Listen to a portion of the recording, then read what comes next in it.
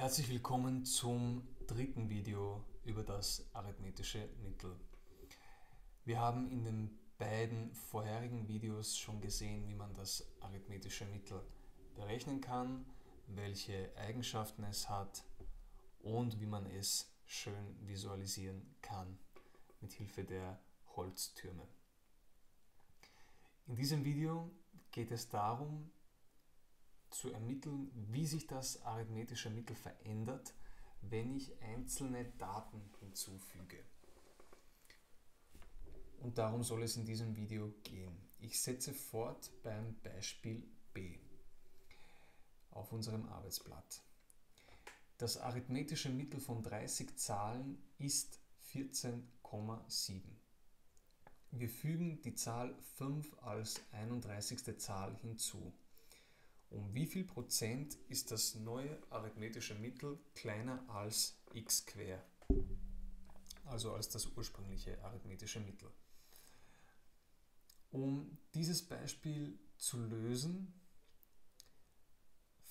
legen, also formen wir mal die Angabe in eine Formel um. Und wenn wir wissen, dass das arithmetische Mittel von 30 Zahlen 14,7 ist, dann kann man das ja so anschreiben. Also ich habe 30 Zahlen x1 bis x30, addiere sie, dividiere durch ihre Anzahl und erhalte 14,7. Das kann ich aus der Angabe herauslesen. So, wenn wir uns an die Holztürme zurückerinnern, dann ändern wir ja an dieser Gleichung nichts, wenn ich beide Seiten mit 30 multipliziere. Das bedeutet, die Listenwerte zusammen addiert sind dasselbe wie 30 mal der Mittelwert. Gut, pausiere jetzt dieses Video und versuche durch Hinzufügen einer weiteren Zahl diese Gleichung so lang umzuformen, damit du auf den neuen Mittelwert kommst.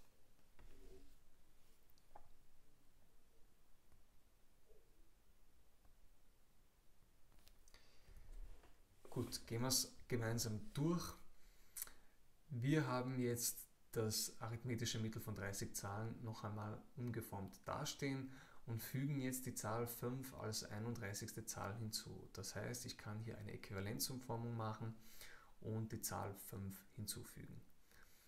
Das bedeutet, ich habe auf der linken Seite und auf der rechten Seite plus 5 stehen. Um jetzt das neue arithmetische Mittel zu erhalten, muss ich ja durch die Anzahl ihrer Listenwerte dividieren und wir haben auf der linken Seite 31 Listenwerte. Das heißt, ich dividiere beide Seiten durch 31.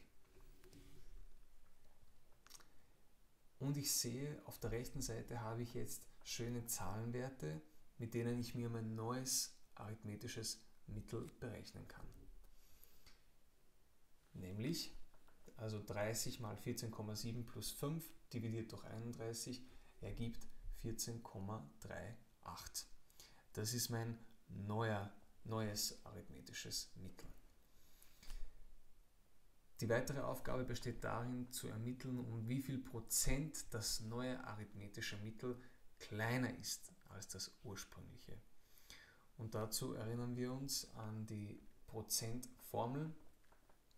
Wir wissen, der Prozentsatz ergibt sich immer aus Anteil dividiert durch Grundwert mal 100 und der Anteil ist mein neuer Mittelwert, nämlich 14,38 dividiert durch 14,7 mal 100 und wir erhalten 97,87%